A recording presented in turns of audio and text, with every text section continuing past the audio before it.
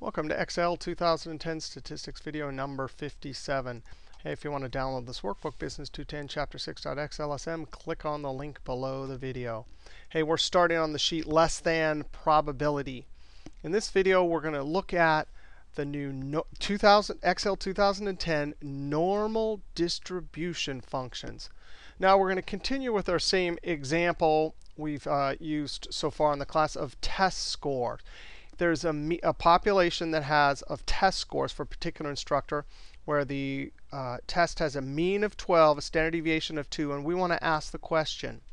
Based on past data, estimate the percentage of scores on the next statistics test that will be 10 points or less. Now this is going to involve using the norm dist function. And now I'm on the sheet less than or equal to probability. And I want to compare this chart here, and we'll see how to create this chart in our next video. If I'm, I want to compare this chart to our binomial distribution charts we made last chapter. But let's take a look at this. In and we talked about this already in the last couple of videos. The area under the curve for a bell-shaped curve is 1. That's all the probabilities. And we're going to be talking about probabilities between two values. Now, in this video, we're going to do less than or equal to an x. Uh, two videos ahead, we'll do above a particular x, and then we'll do between. But area, which is probability, is all about in, in for normal distribution, we got to calculate the probability between two values. So for this example, it's from negative infinity all the way to R10.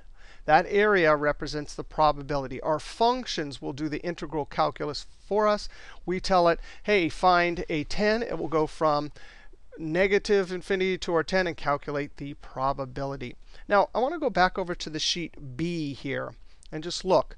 We already sort of did something similar. Here we did binom.dist, and we calculated our individual prob probabilities, 0 to 10 in this example, and we plotted them.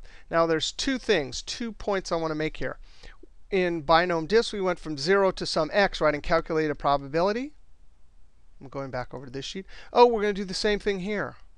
But how we do it is totally different. Here, this is area. We're going to do integral calculus to calculate the area under this. We're never going to calculate an individual probability. We will use the density function to, to plot our chart, but it calculates height, not probability. Okay? Let's go back over to B. Whereas when we calculated the binom dist with the 0, we not only calculated height of a column, but we calculated probability. OK, so two things. One is the idea of from some low point to some upper point, get all the probability. That's similar between the two. But you can, whereas with binom dist, you can calculate the individual probability. When you come over to normal, you can't do it. We're always going between two values. All right, now let's take an example. Let's look at this example here. Now, so based on past data, estimate the percentage of scores on the next statistics test that will be 10 points or less. That's our goal here. We have our, our, 10, our x value and our operator. Now, why are we allowed to use the normal curve or the standard normal curve? The normal curve plots the x values. The z, the standard normal curve, plots the z values. And in our next uh, video, we'll see how to create a chart like this. But why are we allowed to use this? The, these great functions that are going to make calculating probabilities easy. Here's why. Because we have looked at past data for test scores for a particular instructor, and we've seen that the distribution, remember the distribution pattern or um, shape is revealed by, for example, a histogram chart.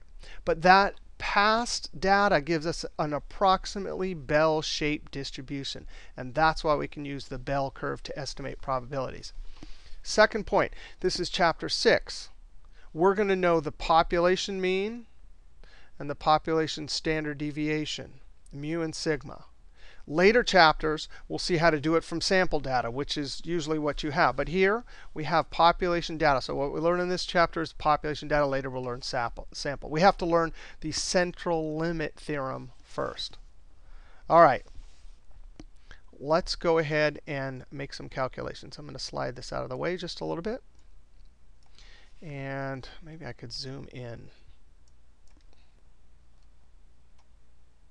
I do want to see a picture of the chart because it's helpful. All right, so there we go. Now, let's calculate our z first. And we're going to see two functions. We're going to see norm.dist and norm.sdist for calculating probabilities. Let's calculate our z.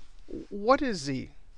Equals, yeah, it's the number of standard deviations above or below the mean. So you always take your particular value minus your mean and divide it by our standard deviation. So we get units of standard deviation here.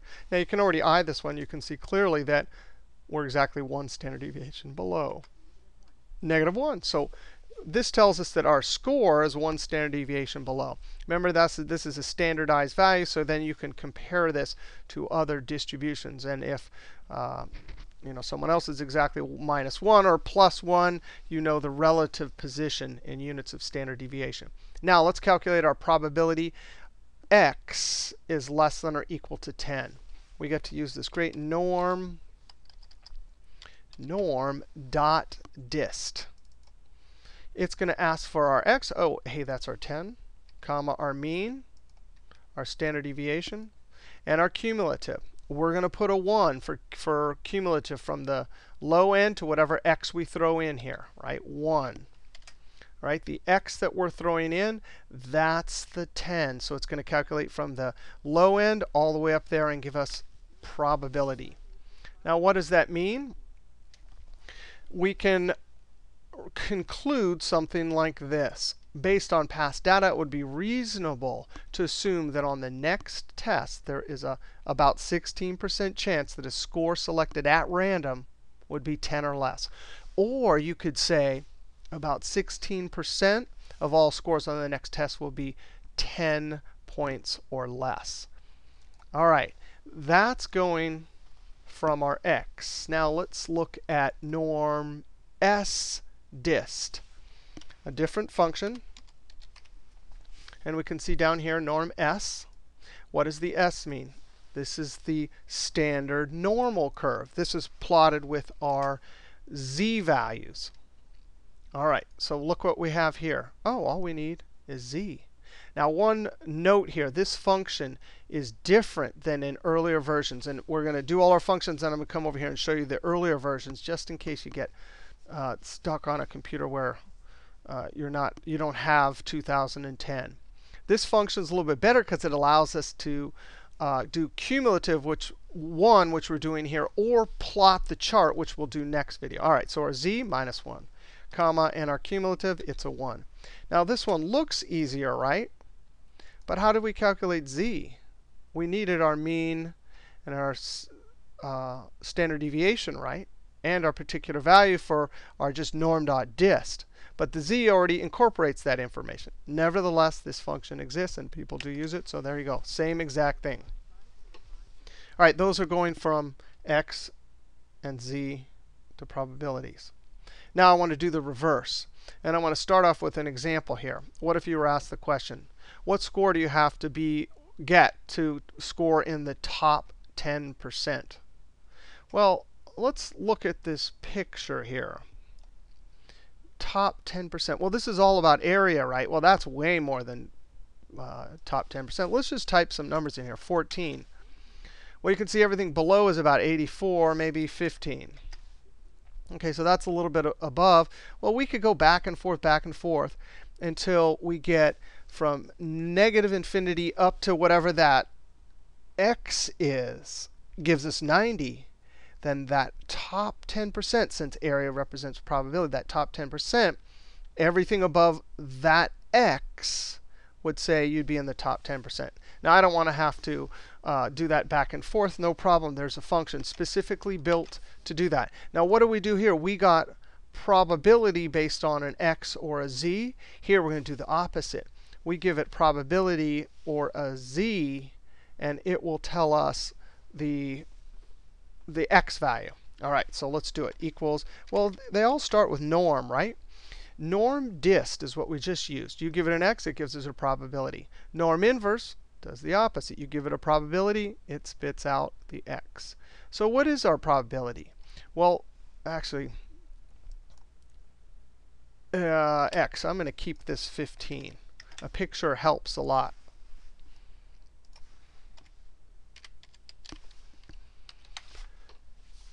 Probability, this picture helps a lot. Remember, it's 10%. But remember how these functions work. We're going from a lower number to some x, right? So even though we're throwing a probability into this function, it still is going to expect everything up to that point. So it always goes from the left up to that point. So we can't put 10%, that's on the upper end. We have to put the 90%. So we have to go 1 minus, comma. Now the mean, it wants the mean and the standard deviation. And there it is. It'll tell us exactly. That's the marking point. And you can imagine this is useful for all sorts of situations. Uh, your uh, CPA exam, an entrance exam on uh, for a job, right? They only select the 10 top 10%. And so you want to know what score you have to get. In this class here for this instructor with this little quiz test at 12, you have to get 14.56 to be in the top 10%. Now let's do it with the standard normal curve, meaning uh, we're going to put in our probability again, 1 minus 10%, and it's going to spit out an x. Let me change this to 10. They all start with norm, and these are the S ones. The S means standardized normal. We're throwing in z's or probabilities in getting a z. So what's a probability? Notice it just asks for the probability 1 minus. minus and there we go. So 1.28. Now, you can think about this. If the, we use the standard normal curve, remember z converts you know, any mean and standard deviation and particular score to a z. So top 10%, if it's normally distributed, is always going to be a z of 1.28. Now, if that's true, can we calculate our actual score from the z? So now that you know this, you could go to any other uh, testing distribution as long as it's bell shaped. And if you knew the population mean and standard deviation, you could just say, oh, yeah, there's our mean, and we're going above. So plus, there's our z's. How many standard deviations? Times the standard deviation. And so we get the same thing. Now, another thing, and we'll do this a couple videos ahead, we'll calculate a bunch of greater than or equal to. But if you know this part right here, can you calculate this part automatically? Sure you can. Because what is this? This is area under the curve is all 1. So if this is 0.158, then all of this above is 1 minus that. Now, we have to remember from earlier videos that when we look at notation like this, x is less than or equal to 10, and then we look at this notation. x is greater than or equal to 10.